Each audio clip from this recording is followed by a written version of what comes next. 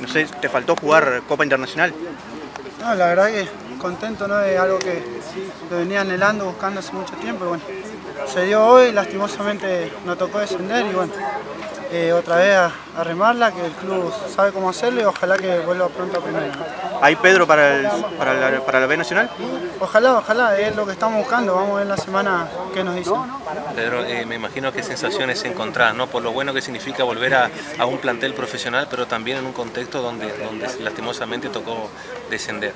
Sí, la verdad es una lástima, ¿no? Pues vimos una plaza muy importante para Misiones, pero bueno, eh, es así el fútbol. Eh, bueno, tocó descender y bueno, afrontar las responsabilidades de todas las partes y seguir trabajando, que el club lo sabe hacer y ojalá, como te dije, que pronto se encuentre otra vez en primera. ¿no? Y la gente, me imagino que, que, quiere saber también cómo, cómo está Brite pensando en lo que viene.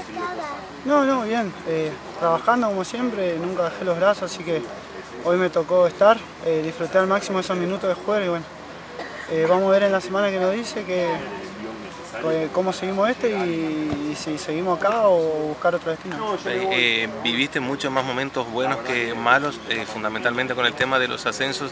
¿De qué hay que agarrarse motivacionalmente para, para pensar lo que viene?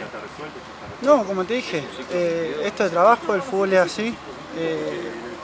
no se dieron resultados por ahí que se esperaba, ¿no? Pero bueno, hay que seguir trabajando y ojalá podamos volver a primera con Crucero y ojalá que Misiones vuelva a tener esta plaza.